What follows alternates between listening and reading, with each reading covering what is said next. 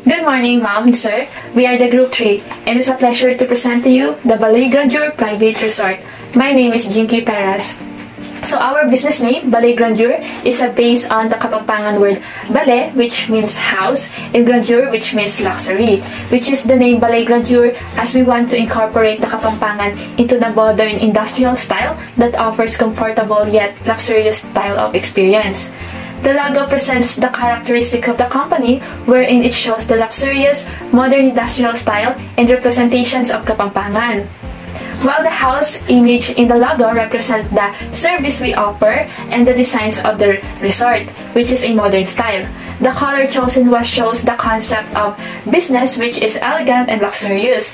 The font represents our relationship with our customers since we want to attach and fully committed to our guests. For the location, Bale Grandeur will be located in Magalang, Pampanga, afar from the city since it's a private resort with an overview of the Mount Arayat. The lot has a total of 800 square meter that will include the pool, parking space, and outdoor space for entertainment. For the mission, to provide the best quality service, affordable place, and memorable experience, we ensure the guest satisfaction by providing peace, warmth, and safe environment. We dedicate to make difference by touching the heart of our guests. For the vision, we ought to be known as one of the best accommodation providers in Pampanga. Five years from now, our accommodation is one of the most prominent private resort to give satisfying and upstanding facilities, promising service quality and providing comfort for guests. The goals of Grandeur is to increase booking by 5% above the previous year, to provide high standard of suitable service and give comfort from home, to achieve 80% of employee and customer satisfactions in the first years by providing excellence experience and updating facilities, to raise brand awareness by engaging in the digital market. The overall goals of the resort is the development that reflects the vision of the community a partnership-owned business that soon will be located in Magalang, Pampanga, a luxurious private resort, Balay Grandeur, is a concept of Kapampangan modern industrial style. The resort offer food service, promote authentic Kapampangan cuisine, craftsmanship of Kapampangan people. The feasibility criteria, Bale Grandeur makes sure to provide relaxation and comfort with cozy and quiet ambience. The resort will be environmentally friendly as it's surrounded by trees and plants, prioritizing guest health as they can meditate and relax in the resort. The resort offers Kapampangan dishes. The security design and locations are represented by licenses to operate. A permit will guarantee by guests and employee. We make sure to generate profit to cater the needs of the business for the guests and employee, local communities that will benefit the economy and community. For the highlights of the project, History of Bale is a concept of Kapampangan modern industrial design that promotes craftsmanship and food of the region. The project timetable and status, the duration will be 426 days from feasibility study up to the operations of the business. The nature of the industry was to provide luxurious types of accommodations that offers lodging, food, and beverage services. That will be a partnership type of business. The target market would be the upper and middle class. The mode of financing will be personal investment since it's a partnership type. The investment cost will have a total of 7,500,000 pesos and the total cost per land, constructions of buildings and etc. would be 6,655,000. And for the major assumption, market feasibility, Bale Grandeur is a private resort that offers lodging and accommodations for everyone. Our target market is family, friends, upper and middle class. The technical feasibility, the business is in line in hospitality. The technology, building, construction, materials will go down to the management structure. For financial feasibility, the estimated cost for putting up Bale Grandeur would ranging to 6 to 8 million pesos. For the management feasibility, the management will be the one to handle the sustainability of the business and overall operation of the resort and sustain the facilities for a better experience of the guests. Chapter 2 will be discussed by Ms. Hudgens. Mabuhay! I am the second presenter, Bridget Hudgens. I will be discussing the Chapter 2 and Chapter 3. For Chapter 2, the Bale Grandeur offers limited service for the guests that would like to check in. For the food, the guests will not be allowed to bring their own during their stay. We would have a cook that the guests can order. The resort will provide different kinds of amenities that the guests would enjoy during their stay in, such as the outdoor pool, arcade, and many more.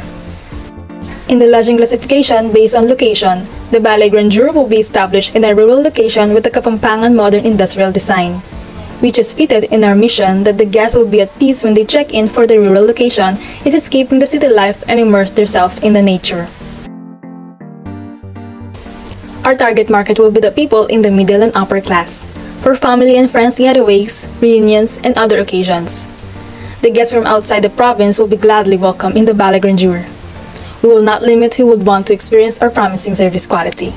Proceeding to Chapter 3, Bale Grandeur offers excellent service for the guests to be fully satisfied in their stay and can enjoy different kinds of amenities, which is our mission and goal as a lodging accommodation provider. The industry profile talks about the general offer of any accommodation which provides a place to sleep, relax, escape from work or the city. In the demand and supply, we have conducted a survey distributed for the potential guests of the Bale Grandeur when it opens. We have asked what are their preferences so we can apply it to our resort.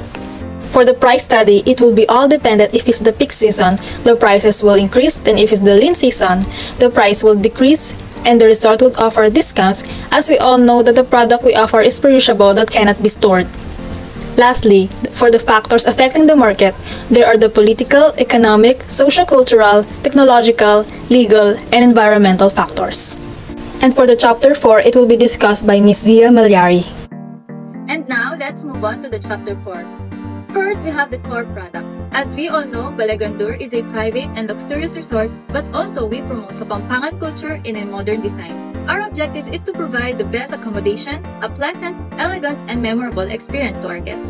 Also, social media is a tool that we use in promoting the resort, and it helps to attract guests by publishing eye-catching and innovative design when posting.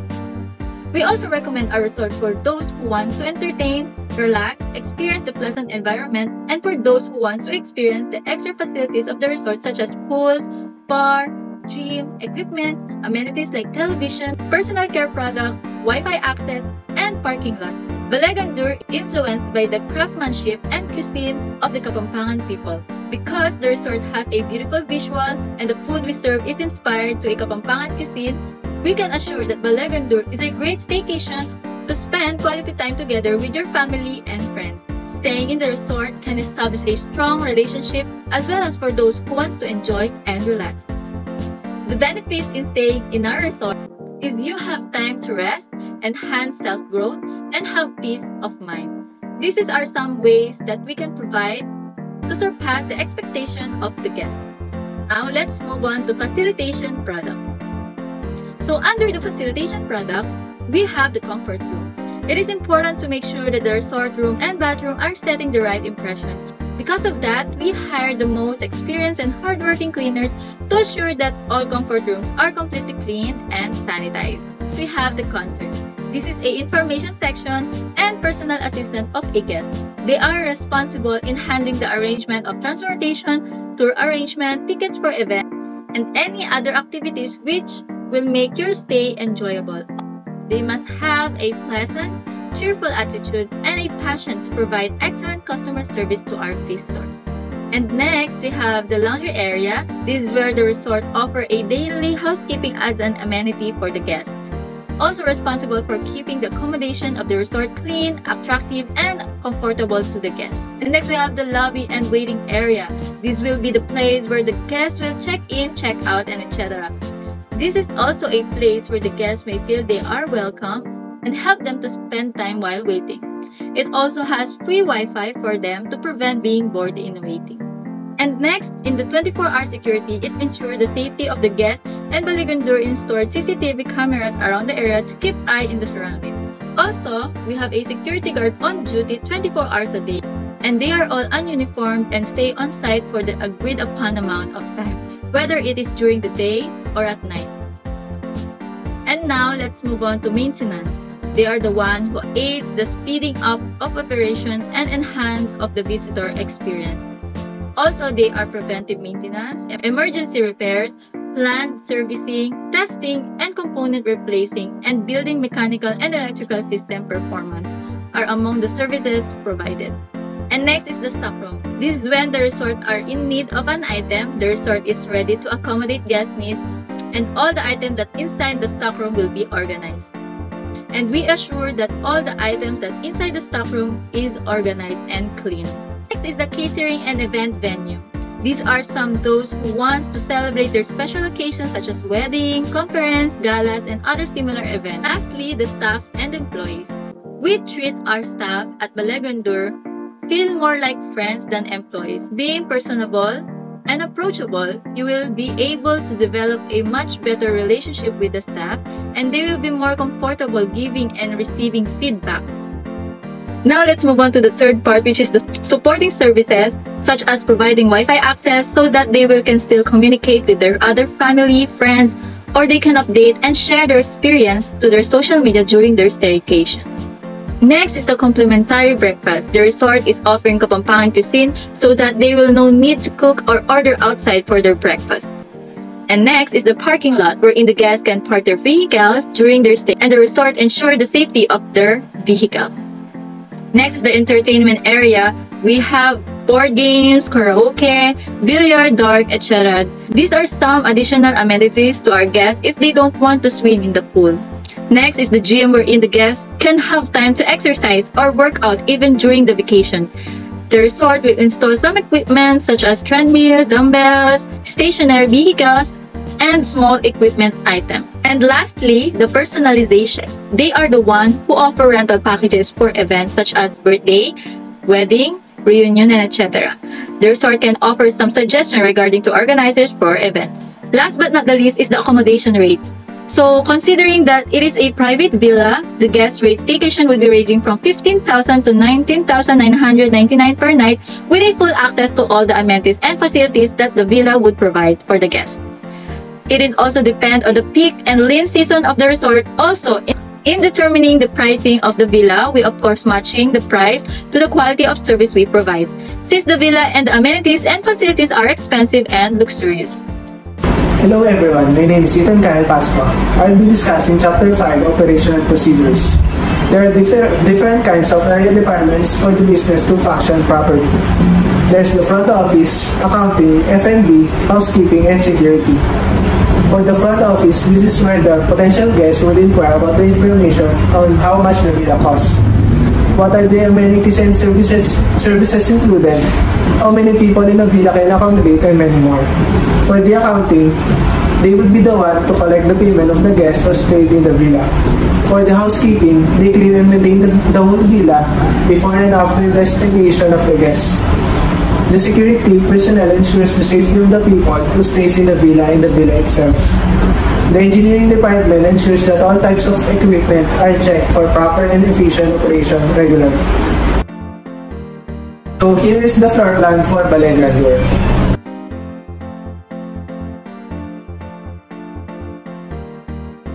Here are the interior and exterior perspective of Bale Grandeur. The designs of Bale Grandeur were based on the logo created. The color accents that have been used such as brown, gray, white, and black symbolize luxury and also give a modern industrial style of Kapampangan. Chapter 6 will be discussed by Ms. Canlapan. So this is the projected income statement for year 1, 2, and 3.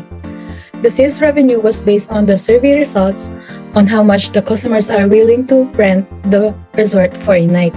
Mostly of them answered 15,000 pesos to 19,999 pesos and they and then we got the average of 17,500 pesos. We multiply it by 20 days since the resort the resort is new to the market and we first forecast that it will not be fully booked for a month. And then we got the annual sales revenue of 4,200,000 pesos. Since the resort will be uh, offering complimentary breakfast, we have 360,000 as a total cost of goods sold. The gross revenue will be the difference of sales revenue and the total cost of goods sold. Moving on to the third row, uh, these are the estimated annual operating expenses. Um, the salaries, uh, we have the depreciation, uh, uh promotional materials, utilities, equipments, supplies, and other expenses. The, the salaries and wages will be discussed on the next chapter. Uh, the Total operating expenses costly of 2,203,246 pesos and 40 centavos. We computed the operating income by getting the difference between the gross revenue and the total operating expenses. As for the tax expenses is based from the 12% of the gross income or gross revenue. Lastly, with the formula of gross revenue minus the total operating expenses and tax expenses, we got the net income of 1,175,953 pesos and 60 centavos. For the year 2, uh, we have the same data from the year 1. Why? Because since it is idea that we will not increase right away. And for the year 3, we forecast that people are starting to recognize our resort and the occupancy rate has increased. Uh, as uh, we predicted that we can also increase 3% for the sales revenue, same as with the expenses. On the next financial statement, we have the cash flow, and this is what we have projected. On the year zero, um, we don't have the collection for, from customers since it is just the beginning of building the resort. Uh, for the net cash outflow, it is the total of investing activities which is costly of 6,905,000 pesos. Moving on to the total cash inflow from financing activities, the proponents the proponents shared 1,500,000 pesos each.